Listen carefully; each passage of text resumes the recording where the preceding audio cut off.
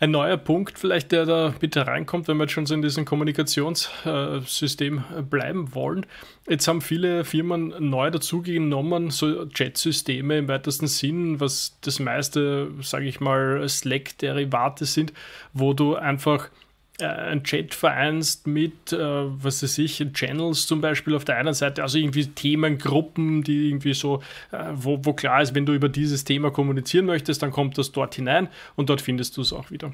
Und was ich prinzipiell ja nicht so schlecht finde, also ich finde Slack ist eigentlich ein ganz brauchbares Tool und es bringt sozusagen ein bisschen Ordnung hinein, weil es gibt halt irgendwie äh, Gruppen, wo die richtige Zielgruppe irgendwie drauf Zugriff hat und auch drauf hört und es gibt noch immer diese 1 zu 1 Kommunikation Du kannst quasi Verlautbarungen an alle ganz gut äh, managen damit und du hast immer diese Möglichkeit, äh, in Antworten hineinzugehen, die dann irgendwie nicht so diese Hauptlinie an Information zumüllt. Das finde ich ja nicht so schlecht. Aber das Thema ist halt, viele haben sich gedacht, boah, super, das gibt's jetzt, das wollen wir auch machen, toll, und bleiben einfach beinhart bei ihren E-Mail und legen dann daneben diesen Chat.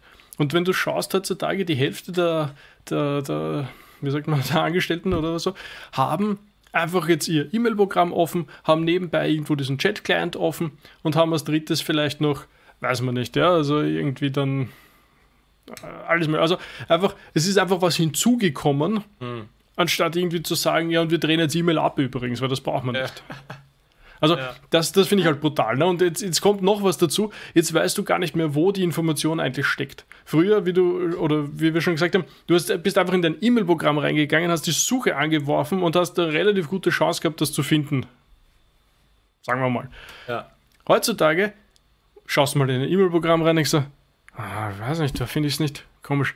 Dann machst du dein, dein, dein, Chatprogramm deiner Wahl auf, probierst dort ein bisschen zu suchen ich weiß nicht, da war es auch nicht. Und, und dann findest du es, ich weiß nicht, irgendwo komplett anders. Also ja. anstatt irgendwie zu sagen, hey, super, wir haben neue Innovationen und, und, und die regeln wir, indem wir unsere Prozesse irgendwie da jetzt besser in den Griff bekommen, sagst du einfach, ah super, für den Bauchladen ein neues, ein neues Werkzeug. Super, das haben wir das und das und da drüben haben wir jetzt noch ein neues und ist überhaupt kein Problem. Du kriegst jetzt einfach 100 E-Mails am Tag und nochmal 50 äh, Chat-Nachrichten dazu